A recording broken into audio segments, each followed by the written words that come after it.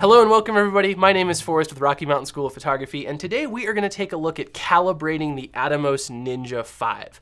The Ninja 5 is one of my favorite pieces of video gear. Uh, I bought it about a year ago and since then it has become like the number one thing that I bring with me wherever I go when I'm shooting video. It's super awesome.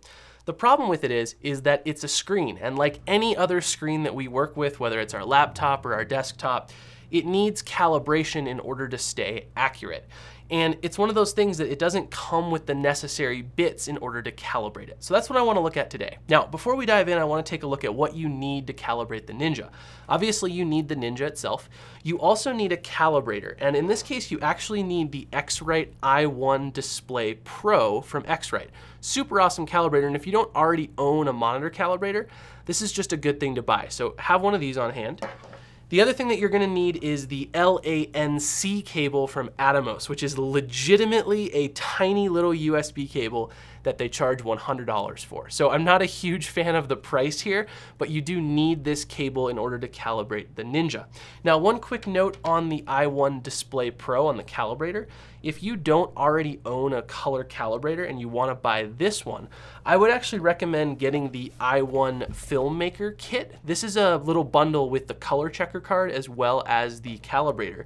And it basically makes the color checker card free, which is really great for doing color grading and things like that down the line. So I would pick this up if you don't have a monitor calibrator yet, because it can get you that free color checker or very reduced price color checker. The first step is we wanna get the software installed on our computer. And you're actually gonna want to install the software for both the i1 Display Pro, as well as the calibration software from Atomos.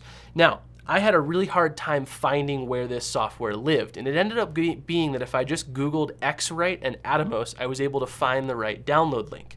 The problem is the only version of the software that they have on their website is actually not compatible with my computer and I was unable to run it. It, keep, it kept running into an error that said that the software was unable to connect to the Ninja when the calibration process was over, even though it connected to the Ninja at the beginning. So it was some bugs in the software.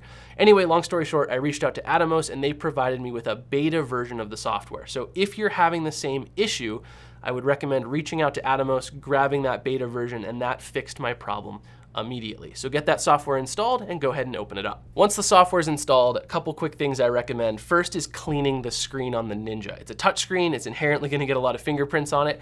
And if the little i1 sensor is placed down over a big fingerprint smudge, you're gonna be interfering with the readings that you're taking. So make sure that you take some time, do a quick screen clean. I recommend this Screen Mom Cleaner. It's from Amazon, super awesome.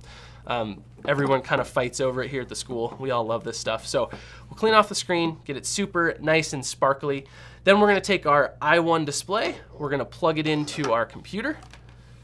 We're gonna take the super expensive LANC cable from Atomos, and we're gonna plug that in our computer as well. And I'm gonna launch that Atomos calibrator software. Now, next thing we're gonna wanna do is we're gonna wanna get this Ninja flat, which unfortunately with the battery in it, it's kinda hard to make it flat, so I've got a nice little thing under here just to prop it up, get it close to flat as possible. We're gonna take the cover on the i1 display. This is the normal closed way of doing things. We're gonna take that cover, and we're gonna flip it back so that it's open, and we're gonna turn on the Ninja. So super simple, basically hooking everything up, turning on everything, getting the software launched. Now, I am running, like I said, the beta version of the software. So if you downloaded the older version, you're gonna have the same buttons, but it's gonna look a little bit different on your end than it does on my end. Once I've got all this stuff plugged in, um, I'm gonna take the other end of my LANC cable and I'm gonna plug it into the remote port on the Ninja. So basically there's one cable going from remote port into my computer, the other one going from i1 display into my computer. I've got the software launched. I'm gonna go ahead and hit the detect button, and that's going to hopefully find the Ninja. In this case, it did. It says name PI here. I don't know why it says PI and not uh, Ninja 5 or whatever device you have plugged in, but that's all fine. And status is idle. So we've detected our calibrator. Now we're gonna take this calibration tool and we're gonna plunk it down right on top of the screen. Now, Couple quick things on this. Number one, we made sure we cleaned our screen. Number two, you don't want any bright lights shining down on your screen during the calibration process. So give me a quick second.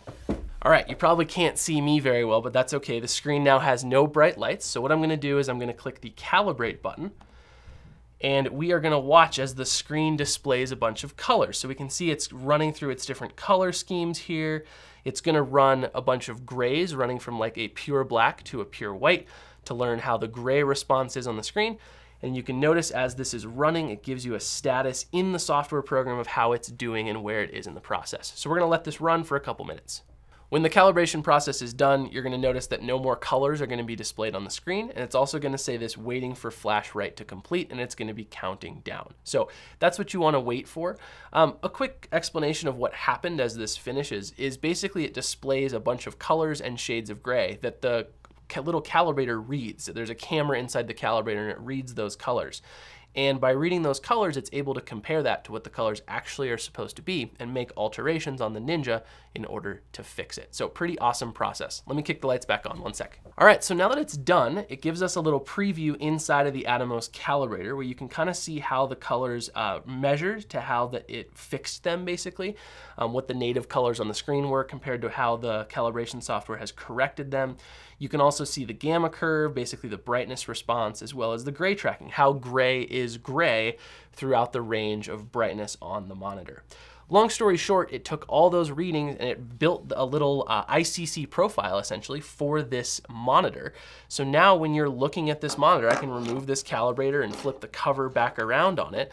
Now when we look at this monitor, we know that the colors we see on this screen are accurate, which is super awesome. So I highly recommend this if you are a Ninja 5 user or really any Atomos prod product user and you are trying to judge your colors for your video project from this screen alone, definitely take the time to calibrate it. If you don't own a calibrator, you need one anyway. It's really important to calibrate your monitor. We've made a video on that. I'll, I'll link it down in the description, but it's really important to calibrate your monitor anyway the addition of the $100 cord in order to do it, I think is a small price to pay, even though it's big price for a cord, but it's a small price to pay for what you're gaining in the ability to have accurate colors on your monitor. If you guys like this video, hit the like button. If you didn't, you know what to do. If you guys have any questions, comments, concerns, whatever it is, leave it in the comment section down below. And lastly, hit subscribe down there or up there to stay up to date with future videos. Special thanks to Canon for sponsoring this video, and I will catch you guys in the next one.